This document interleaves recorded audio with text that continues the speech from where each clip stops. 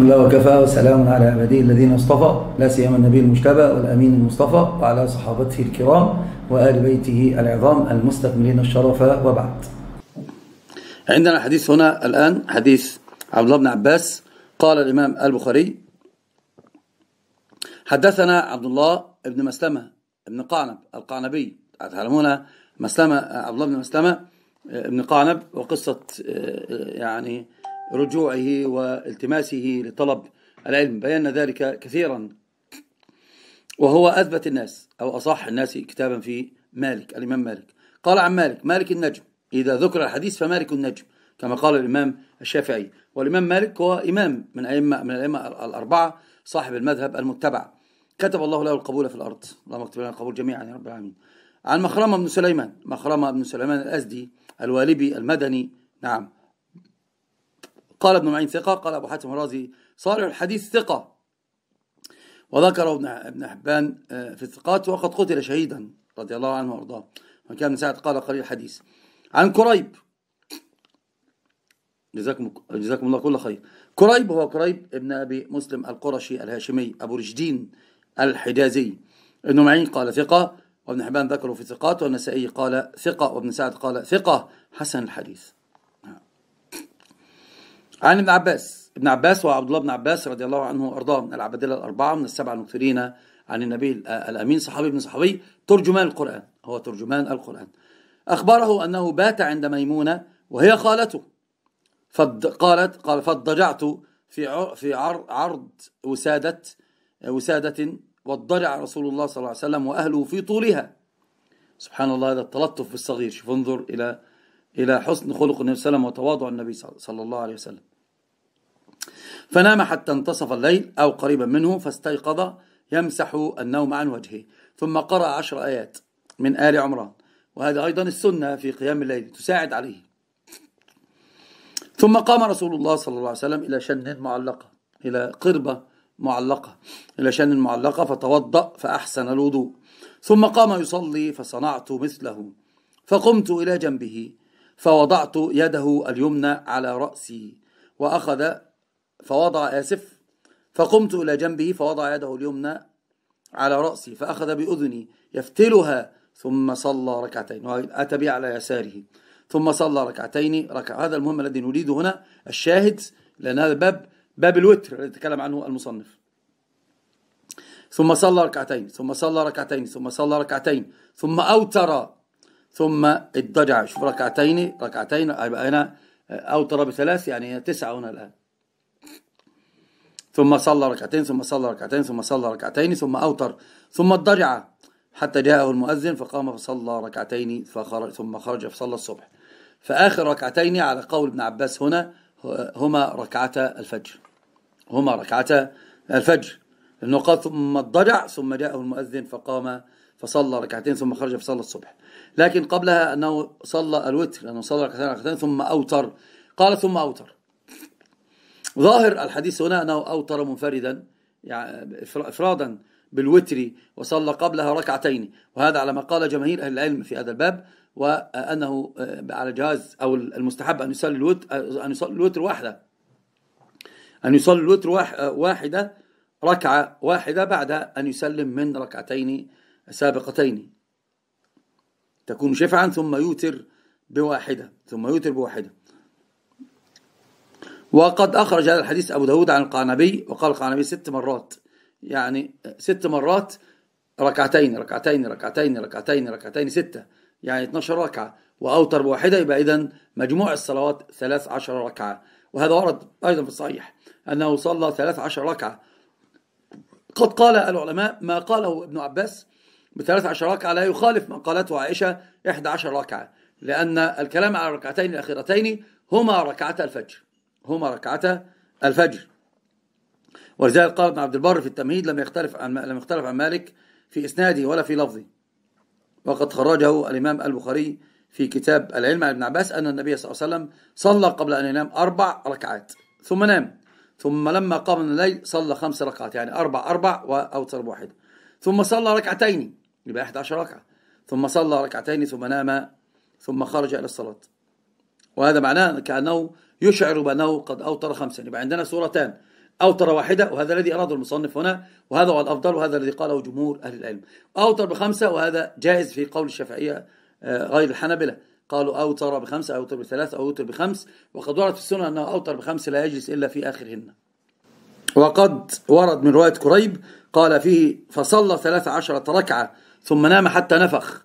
فكانت الركعتين كانت الكلام على آخر ركعتين هما ركعتا الفجر.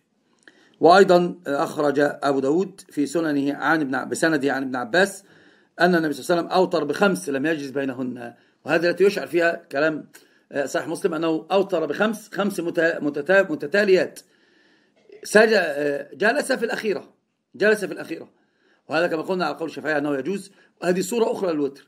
قد بينا آه، أمس أن أفضل الصور في ذلك صورة أنه يوتر بواحدة ويشفع قبلها ويسلم من ركعتين فيوتر بواحدة أو يوتر بثلاث متواصلات أو يوتر بخمس متواصلات أو يوتر بسبع ولها صورتان يجلس في السادسة ويجلس في الأخيرة وإن كان جماهير أنه يجلس في السابعة فقط وأيضا يوتر بتسع يجلس في الثامنة ويجلس في التاسعة. وقد روى أبو داود من حديث عن محمد قيس الأزدي عن الحكم عن سعيد بن جبير عن ابن عباس قال فيه أنه صلى سبعا أو خمسا أوتر بهن لم يجلس إلا في آخرهن. وبين أنه صلى هذا سورة الوتر الأخرى هنا متواصلات. صلى الخمس أو السبع متواصلات. كان حديث صحيح الذي ورد في الصحيحين أنه ما أوتر إلا بواحدة صلى قبلها ركعتين ثم أوتر سواء قلنا صلى ركعتين ثم صلى ركعتين ستا أو خمسا لكن هو أوتر بركعة. وأنه اضطجع قبل ركعتي الفجر. في رواية مالك أن النبي صلى الله عليه وسلم اضطجع قبل ركعتي الفجر. وقد ورد صحيح مسلم أنه صلى 11 ركعة ثم احتبى. احتبى يعني ضم رجليه يعني جلس جلس اليمنيين ووضع يده على ركبتيه وهو جالس. نعم. حتى إني لأسمع نفسه, نفسه راقدا فلما تبين له الفجر صلى ركعتين خفيفتين. هذا مع الكلام أنه صلى 11 ركعة فكون تمام 13 ركعة ركعات الفجر على على ما قلنا. والخلاف هنا هل ابن عباس أدرك النبي يصلي الوتر ركعة واحدة؟ هذا الذي في الصحاح. هذا الذي في الصحاح. وأما في السنة أنه صلى خمس متواليات أو سبع متواليات صلى خمسا متواليات أو سبعا متواليات ورواية مالك الموطأ أنه صلى صلى واحدة وتر واحدة. ورواية صحاح كما قلنا بذلك. وقد ورد في النسائي وفي غيره من وجوه غير قوية أنه صلى ثمان ركعات وأوتر بثلاث بثلاث ركعات. والذي في مسلم أن النبي صلى تلك الليلة ست ركعات ثم أوتر ثلاث بثلاث ثم أذن المؤذن فخرج إلى الصلاة. وهذا طبعا مخالف للصحيح الصريح الذي جاء عن النبي أنه صلى ركعتين ثم ركعتين ثم ركعتين. الخلاف الصحيح بين الإحدى عشر وبين الثلاث عشر. وأيضا في الكلام على أنه أوتر بواحدة هذا الذي جاء به الصحاح. أما أوتر بخمس متواليات أو سبع متواليات جاء به السنن وهو مخالف لما في الصحاح. لكن ورد ورد في غير في غير أحاديث ابن عباس أن النبي صلى بثلاث متواليات أو صلى بخمس متواليات حديث مسلم صلى تسع ركعات وصلى ركعتي الفجر يبقى 11 ركعة بركعتي الفجر. وأكثر الروايات التي جاءت في الصحيح أنها 13 ركعة يعني هي 13 ركعة آه، صلاها النبي صلى الله عليه وسلم بركعتي الفجر. يعني وافق عائشة في الإحدى عشر ركعة. والحق أن رواية مالك أيضا جاءت بثلاث عشر ركعة نعم لكن بدون ركعتي الفجر. وكذا رواه الأعمش عن حبيب بن أبي ثابت عن قريب عن ابن عباس. خرج حديث النسائي وذكر الإمام أحمد أن الأعمش وهم في إسناده. وأكثر الروايات تدل على أن ركعتي الفجر من الثلاث عشرة. وهذا يكون موافقا لرواية عائشة رضي الله عنها وأرضاها. ولا يقال بتعدد القصة. لا يقال بتعدد هذا فيه وهم. أدركهم الوهم. ولكن الجمع هذا حتى لا نوهم الراوي الرواة نقول من روى 13 ركعة ضم مع ركعتي الفجر دون أن يفصل. ومن قال ب 11 ركعة وافق عائشة بذلك وركعتي الفجر صلى ركعتي الفجر فانضمت لها ب 13 ركعة. لكن الوهم من قال بأنها 13 ركعة غير ركعتي الفجر وصرح بذلك. كرواية الأعمش وغيره. فيكون الوهم فيها هنا. يبقى حديث ابن عباس القصة لم تتعدد هو النبي صلى الله عليه وسلم نام أو ممكن يقال أنها تعددت بأنه صلى أربعا ثم نام ثم صلى أربعا ثم ثم أوتر بثلاث. وقد نقول لم تتعدد وصلى أربعا ثم أربعا ثم أوتر بثلاث ثم صلى ركعتي الفجر والمجموع يكون ثلاث عشرة ركعة بركعتي الفجر. وهذا يوافق كلام عائشة رضي الله عنها وحديث عائشة رضي الله عنها وأرضاها. وقد خرج البخاري أيضا من رواية شريك ابن أبي نمر عن قريب عن ابن عباس في بأنه صلى 13 ركعة. وفي رواية أبي داود أن النبي صلى 13 ركعة من ركعات الفجر. قال ابن عباس قال حذرت قيامه في كل ركعة كمقدار قول كمقدار آية يا أيها المزمل قم الليل إلا إلا قليلا. وفي رواية سعيد بن جبير عن ابن عباس رضي الله عنه وأرضاه وخرج البخاري أنه صلى قبل نومه أربعا ثم بعد قيامه من نومه خمسا ثم صلى ركعتين يبقى أربعا وخمسا تسعة صلى ركعتين 11 ركعة. هذا الظاهر. والظاهر أن ركعتين كانت كانتا بعد الخمس. وهما ركعات الفجر. يبقى إذن صلى تسعا وصلى ركعتي الفجر. و و و و ويؤكد ذلك رواية النسائية أنه صلى خمسا ثم صلى ركعتين ثم نام. ثم نام. يعني يبقى صلى 11 ركعة هذا قيام ثم نام. ثم قام فصلى ركعتين. ثم خرج إلى الصلاة. رواية النسائي أوضح من رواية أبي داود عن ابن عباس أنه صلى أربع قبل النوم ثم صلى خمسا ثم صلى خمسا ثم صلى ركعتين. هذه 11 ركعة. وصلاها جالسا فنام ثم قام فصلى فصلى ركعتين. فعلى هذه الرواية صلاة 13 ركعة بركعتي الفجر. يبقى إذن عندنا حديث ابن عباس يعني فيه روايات متعددة جدا. لو قلنا بتعدد القصة أنه صلى أربعا قبل وأربعا بعد.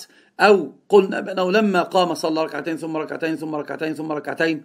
على تعدد القصة هنا يقول بذلك. لكن فيها أنه بين لنا أن النبي صلى الله عليه وسلم في الوتر صلى الوتر صلى الوتر ركعة ركعة وصلى بعدها ركعتين.